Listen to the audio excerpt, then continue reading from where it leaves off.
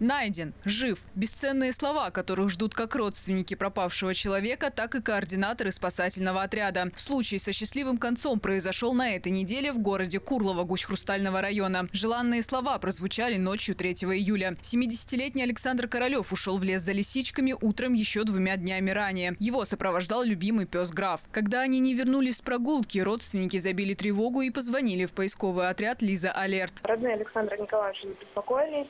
А На тот момент они уже пытались найти самостоятельно дедушку, но нашли только его велосипед. И плюсов проводной информации дед ушел в лес не один, а с собакой.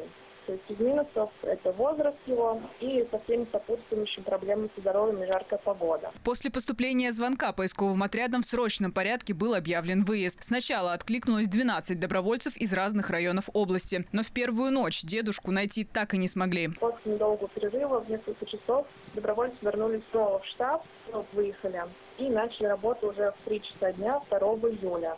А, Выехало 24 поисковика Лиза Алерт, сотрудники полиции, кинологи МВД, неравнодушные местные жители и также были внедорожники, без которых мы бы не справились. Сложность заключалась в размере леса и сложно проходимой дороги. На тропинках были огромные лужи, которые нельзя было обойти пешком, а нужно торопиться. Счастливые слова услышали около 12 часов ночи. На 5 в составе Михаила Олеся э, из кустов вышла собака нашего дедушки, и уже после поисковики визуально начали осматривать место и обнаружили Александра Николаевича. Чувствовал себя дедушка вполне хорошо, эвакуация нам не потребовалась.